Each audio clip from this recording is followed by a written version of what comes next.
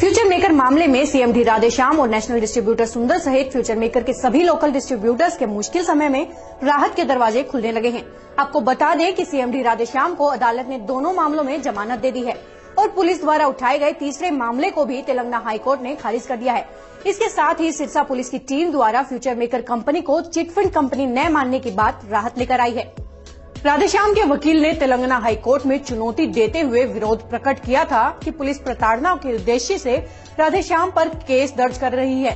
वकीलों की यह दलील सुनने के बाद हाईकोर्ट ने पुलिस को फटकार लगाई और नोटिस जारी करते हुए पुलिस द्वारा दर्ज तीसरे मामले को खारिज कर पुलिस को झटका दे दिया। कुकरपुली थाने में दर्ज मुख्य एफआईआर नंबर 710 की सुनवाई के दौरान सीएमडी राधेश्याम को सशर्त जमानत मिली है। कि राधेश्याम को अपने पासपोर्ट जमा करवाना होगा और पुलिस जाँच में सहयोग करना होगा। पुलिस द्वारा दर्ज दूसरी एफआईआर नंबर 541 में भी राधे श्याम को जमानत मिल चुकी है। दूसरी ओर कंपनी की चिटफंड की श्रेणी में नए आंका जाना भी कंपनी के निवेशकों के लिए राहत भरी खबर है। अब सिरसा पुलिस की एसआईटी टीम आठ दिन के रिमांड के बाद राधेश्याम को वीरवार को फतेहाबाद की अदालत में पेश करेगी।